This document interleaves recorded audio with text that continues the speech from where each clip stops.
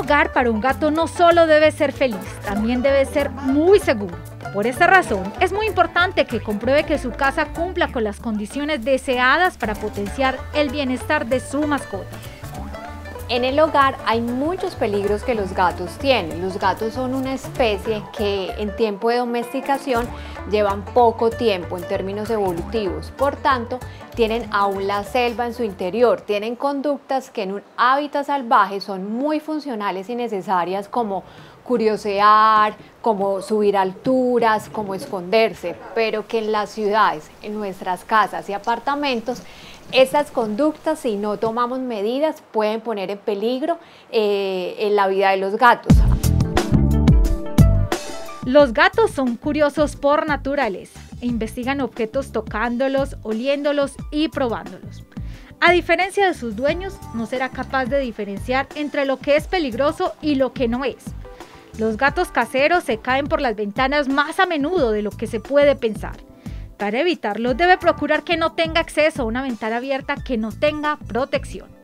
Los gatos, su instinto cazador, su instinto de buscar el sol, la altura, su instinto de curiosear qué hay más allá, los lleva a trepar a las barandas de los balcones y pueden resbalar, pueden caer. Incluso cuando su instinto cazador se activa, que ven un pájaro, un mosquito, pueden saltar al vacío porque no están pendientes del peligro que su vida está corriendo. Entonces es muy importante que si convivimos con gatos, entendamos que el gato no pidió vivir en el piso alto del edificio donde vivimos, así que es nuestra responsabilidad garantizar su bienestar. Incluso en pisos bajos es importante las mallas porque nos ayuda a evitar que los gatos escapen y terminen atropellados. Es de vital importancia pensar sobre todo aquellas cosas que podrían tentar a su gato a investigar pero que podrían resultar peligrosas, como por ejemplo tijeras, hilos, objetos pequeños y afilados. Guarde todos los objetos que considere peligrosos en un armario o fuera de su alcance. Acá le presentamos algunos puntos básicos. Otro factor también importante son las piticas o las cuerditas. Si bien a los gatos les gusta jugar con esos elementos, el problema está cuando las dejamos desordenadas sueltas. Uno de mis gatos eh, con una cuerda de amarrar canastas de huevos la ingirió mientras no estábamos y cuando llegamos estaba salivando excesivamente con la cuerdita por acá por fuera. Fuimos al veterinario, el veterinario dijo no se puede jalar porque la cuerda se puede enredar en sus órganos internos y al jalarlo pues estás matando literalmente al gato. Se fue para radiografía, confirmamos que estaba enredada y se fue de cirugía, tres días de hospitalización. Entonces, si controlamos estas situaciones, evitamos esos accidentes que comprometen la salud del gato y evitamos gastos veterinarios.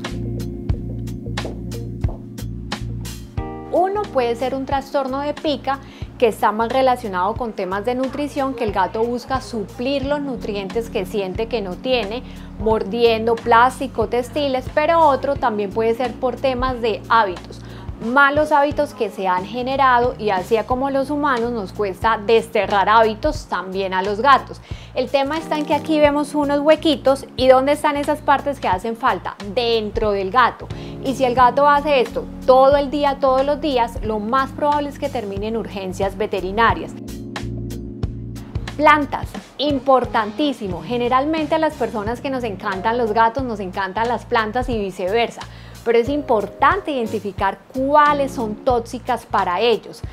Algunas de ellas son lirios, divinos en los arreglos florales, pero si vas a dar un arreglo floral y la persona tiene gatos, evita tenerlos.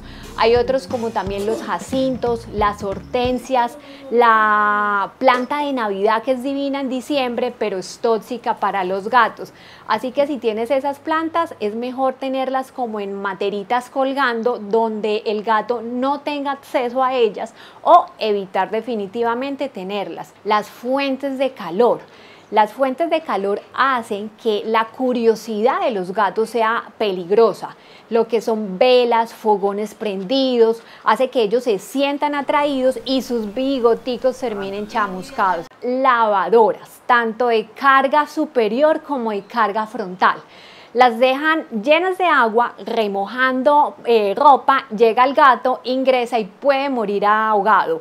En las de carga frontal pasa que van poniendo la ropa con la, con la puerta abierta y el gato ve eso como una cueva maravillosa para irse a dormir. ¿Cuál es el problema? llega el humano, cierra la puerta, programa la lavadora para que empiece a lavar en una hora, se va y el gato está adentro y cuando llega el gato ha muerto. Eso es un tema que no es que pase en otros lados, ha pasado aquí en Colombia, en Medellín.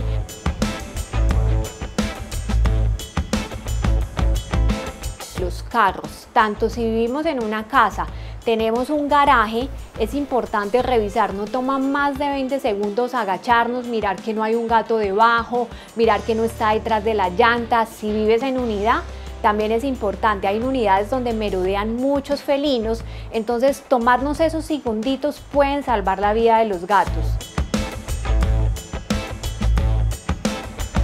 El proceso de ir conociendo y estableciendo un vínculo con su mascota es probablemente la mejor parte de tener un gato de compañía.